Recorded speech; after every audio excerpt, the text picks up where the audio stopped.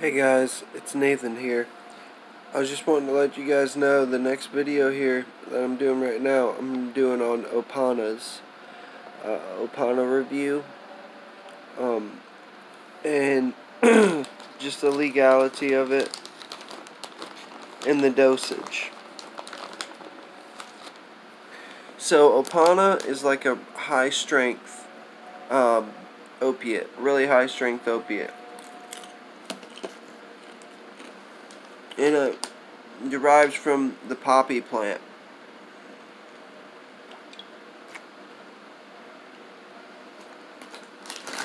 And the thing is, is it's amazing.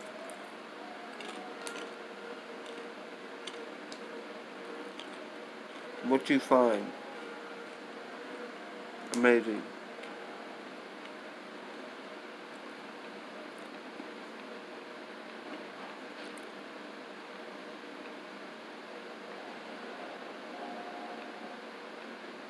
Alright, in the legality, I'm pretty sure it's going to be a scheduled drug in this state because it's it's been scheduled and prescribed for people all over, so it's more of a regulated and well-known drug.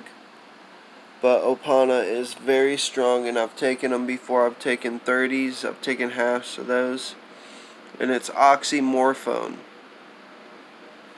sold under the brand names Numorphan and among others is an opioid pain medication, pain relief after injection be begins after 5 to 10 minutes.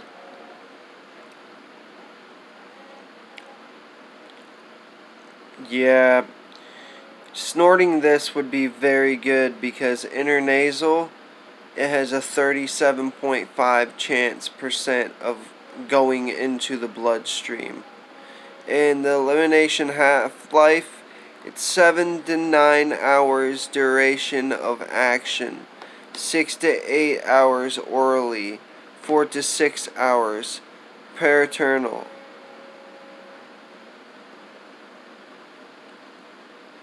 So it would last like 6 to 8 hours if you, or 7 to 8 if you snorted it intranasally. Okay? So, that's the best thing to do. But I know some oxymorphone pills have coatings on them and stuff, so I know people scrape them off or melt them off or put them in their mouth and suck them off and shit like that. It's real weird, but the dose on this is uh, coming up right now because you really have to know what you're what you're doing. You really have to know the dosage and all that shit.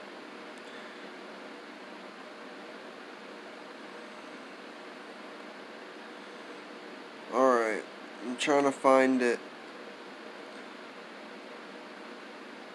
It lasts a long time though. Very long time. Alright.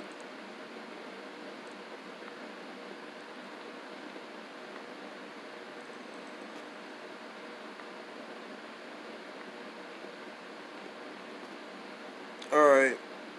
Yeah.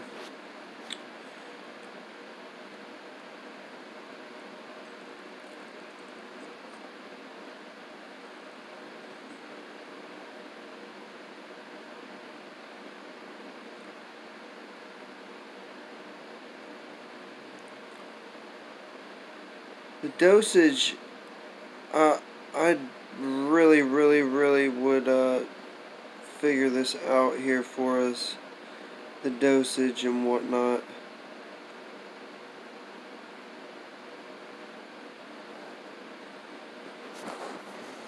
Freaking sucks whenever you're trying to find something on there and it doesn't work.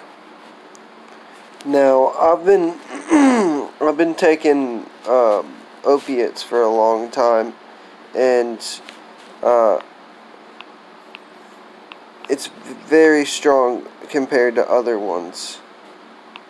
And if I were to choose, I would probably pick uh, oxymorphone, Opana.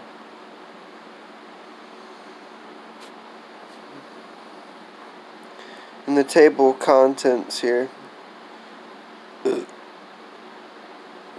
Initial dosing. To avoid medication errors, prescribers, pharmacists must be aware that oxymorphone is available both as immediate release 5 mg, 10 mg tablets, and extended release 5 mg and 10 mg tablets.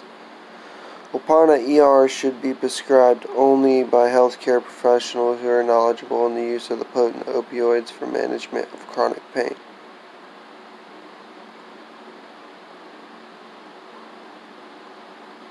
Yeah, your respiratory depression for the first 24 to 72 hours initiation therapy with Opana ER.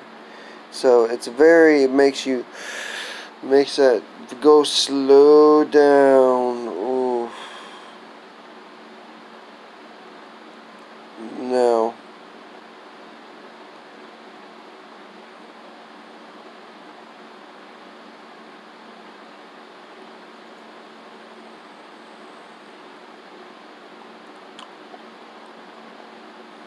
Yeah, I'd start out with like one 10 milligram Opana ER. That'd be it. Main thing, there's people that have died from these though. Just like Oxycontin, just like anything else, you could die from it.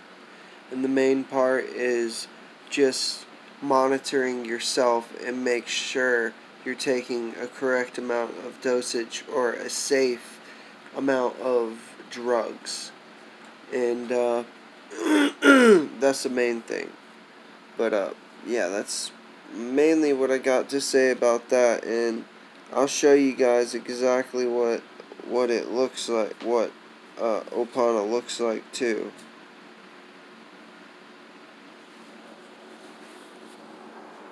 Because these come in like red too.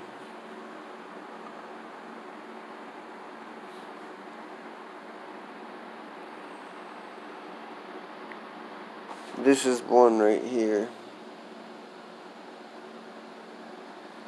That's interesting. That's pretty cool though. They got a pink one right down there, the K71s. I like the uh there's there's the G. That orange one is very strong. And the blue ones down there. So they look like Opanas. I've taken the half moon and uh, ER half moon, and those were extended release. And whenever whenever I took that, I had dreams about like dead people and stuff like that. It it was really scary because it was like an old man that was totally purple laying on a hospital bed being rolled into a hospital. It was weird.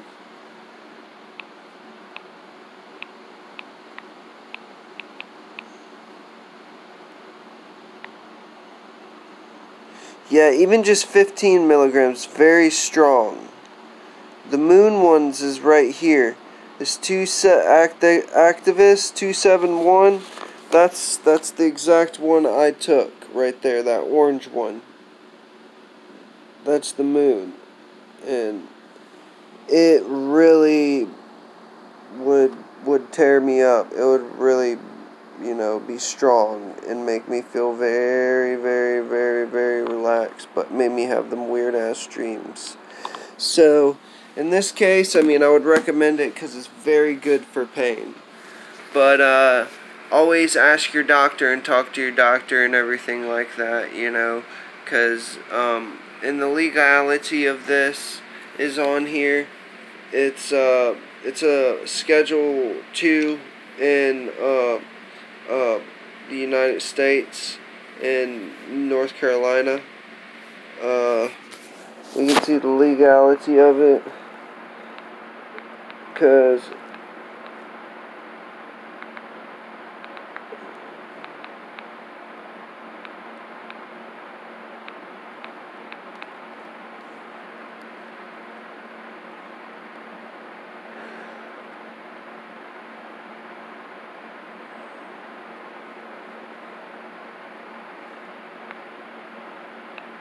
Yeah, because it's uh, scheduled. It's scheduled because I know that for a fact.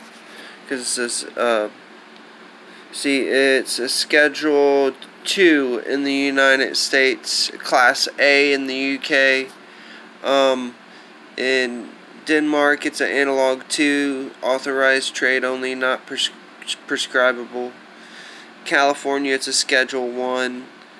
Australia, it's a S8 controlled substance. So, yep, that's that's all that comes with Opanas, you know. So you got to go to a doctor to get it.